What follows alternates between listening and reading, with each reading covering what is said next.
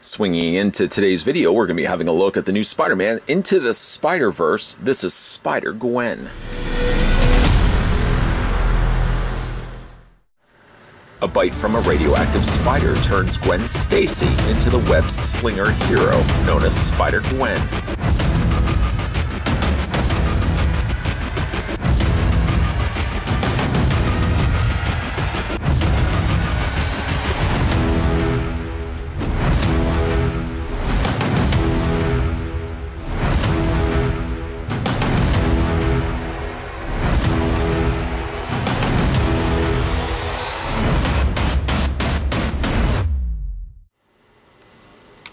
Your information, we're going to go ahead and take the Ultra Megatron and put it to the very top of Gwen Stacy, or Spider-Gwen's head.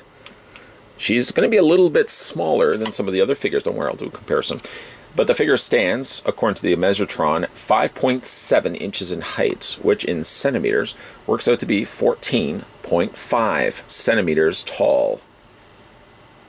Size comparisons? You got your size comparisons. There is Spider-Man, also from the same Into the Spider-Verse line. The star of the film, Miles Morales.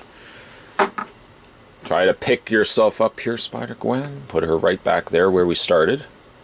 She is, does have a difficulty of standing. I'll talk a little bit more about that after we do our size comparisons. If we can eventually get around to our size comparisons. There we go. We're not we're not done yet. There's Prowler. There we go. And uh, last but certainly not least, a little bit bigger, a little bit bigger, is the Scorpion. And providing that all of these will stand in place, there, so far, are most of the Into the Spider-Verse figures that uh, we've already had a look at. Omitted here, of course, are Spider-Ham and uh, Oh, and also uh, Peni Parker, which we've also looked at on this channel. For her accessories, let's bring the camera back in. She does come with a web shooter. Kind of actually looks like it's a scarf.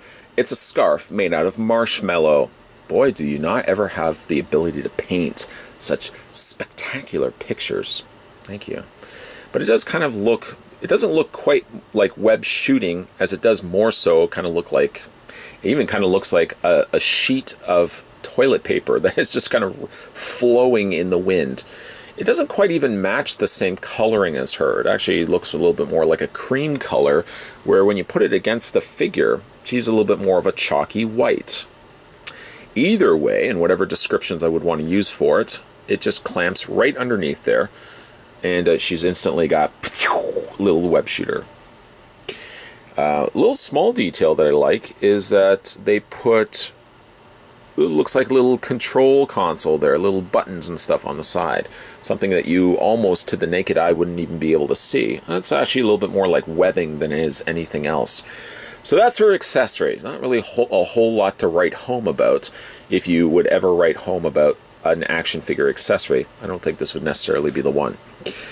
As for the figure itself, it's not terrible it's sort of relegated to the same problems as a lot of these, uh, you know, kid toys, is the fact that they're sort of really limited when it comes to leg articulation. As a result, also, I do have a problem where Gwen Stacy doesn't stand properly, and I ask myself really why. For all intensive purposes, the feet are really flat. She does have peg holes, I guess you could make use of a stand if you wanted to. But I guess it's maybe just the posture of her Maybe it's also the fact that her head is a little bit bigger, but I do find her a little bit more of a trickier figure to stand. There you go. It would it would not have worked if I had just said that she would have stood completely upright. So we kind of overlook the fact that the figure doesn't stand well. How does she look as a figure? Well, not terribly actually. All the nuances, all the things that are painted on Gwen Stacy carries over here to this figure as well except for I guess maybe the turquoise sort of blue uh, spider webbing that would normally be in her pink, uh, the pink part of her costume. Here you can see it's been sculpted as the webbing, and they've put the pink in there, but there's no additional paint on top of that. I know I'm asking a whole lot. Primarily, most of her outfit is really just white and black and pink. And of course, we cannot forget pink and a little bit of blue, I guess, if you want to add that to the mix as well. This normally would have been, like I said, up here as well, but it only really gets left and It, it's basically left at the door by her feet, by her shoes. Paint's a little on the messy side. You have to kind of overlook that. Look from a distance and squint, if you will. Uh, but the blue is a little on the sloppy side. Also, one of the other problems, too, is like the legs appear like they were cast in black plastic. The top torso, however, looks like it was done in white plastic. You can probably see where this is going. Back black in the leg is pretty clean because there's really no paint. It's just the the blue in, that's been painted over top. Everything else is plastic. Here, however, because they've added the black, it's never really a straight cut line. It always looks like it's never finished. It looks like that they probably, as the figures are going through, there's a like a template that likely goes over top of the mold, and then the paint goes over top of it. If you've ever really painted a wall and you've put scotch or masking tape down, like a paint masking tape, and you peel it off, sometimes you don't see a really sharp line. Sometimes you have to even go back and finish it off. That's sort of what I'm getting right here. Looks like the tape has been removed, and it sort of has left these unfinished lines. I guess you could probably go in there with a marker if you're really dedicated about making this figure a little bit more perfect than probably what it is. One of the hands is pretty sculpted. I mean, it goes without saying that all Spider-Man figures to some extent are going to have this web shooting hand. Spider-Gwen clearly has that as well. The other gripping hand doesn't do anything because she doesn't have any other accessories. I guess in theory you could put the webbing on this side, but I think for this hand to be shooting the web at any size, probably makes more sense to have it on this side. Let's have a look at her head sculpt. I'm actually surprised that her hood comes off. And not only does it come off, but it's fully finished. Does, however, look very alien-like.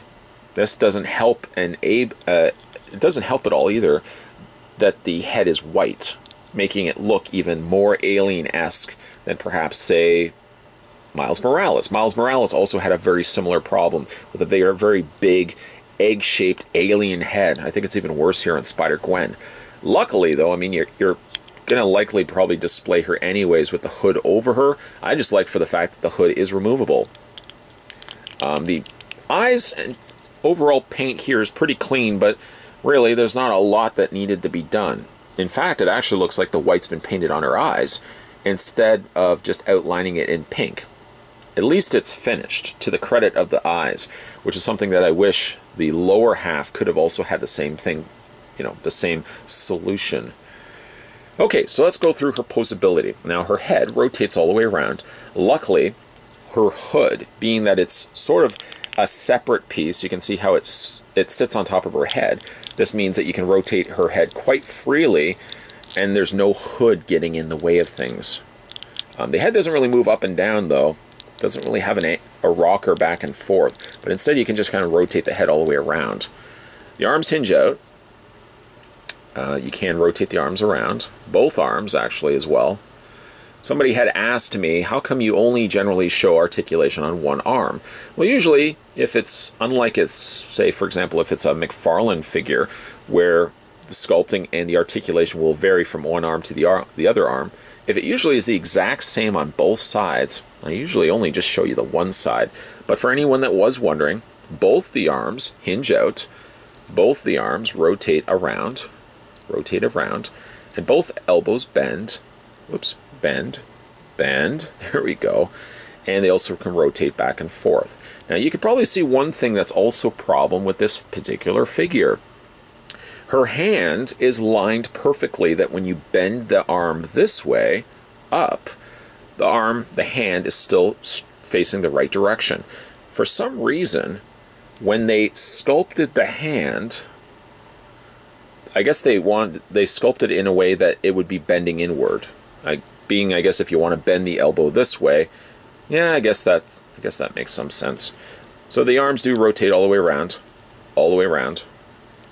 There you go. There you go. I hope that has fulfilled somebody's request. You do both arms. There you go. Uh, the legs hinge back, back to about there, about there, and they also hinge forward. Not that you could really necessarily get her in any sort of creative poses. Believe you me, I've tried.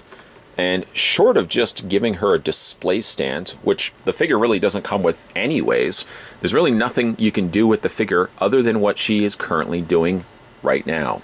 Okay, well, you can rotate the arms and hinge those out. We've looked at that. But from the lower half down, it's not really a whole lot that you can do.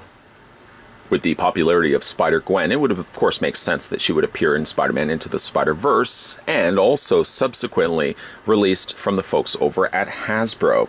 This figure is pretty good.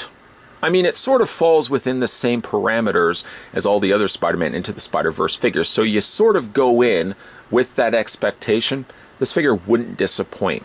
If you go in, however, with the illusions that this figure should have similar posability to a Marvel Legends, unfortunately, you're going to be pretty disappointed, Jack. Yes, because this is catered towards a kids line, and more specifically for kids picking him up, a lot of these figures are really relegated to little to no pos posability from basically the waist down. They tease you with the top half being about the same level of posability as Marvel Legends, but then the lower half is really where it lets you down. The head sculpt is pretty good if sort of not looking for sort of looks a little bit like an alien head. Miles Morales had the same problem, but I think it looks worse on Gwen Stacy. Luckily, Spider-Gwen has the option of having the hood always on her head, but I like the fact that you can also lower the hood too, if you want that as your desired look.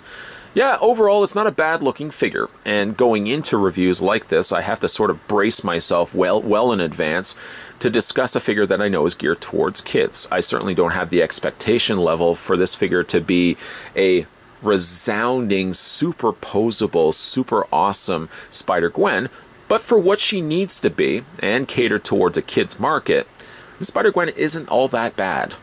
I just wish she would be able to stand a little bit better.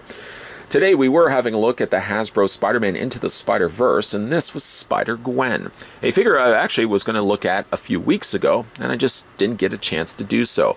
We're having a look at her right now. If you guys want to go back and have a look at some of my other Spider-Man Into the Spider-Verse figure reviews, though, would you believe there's a playlist for you? Yes, there is, and there's also a playlist for just Spider-Man if Spider-Man is your thing, after all.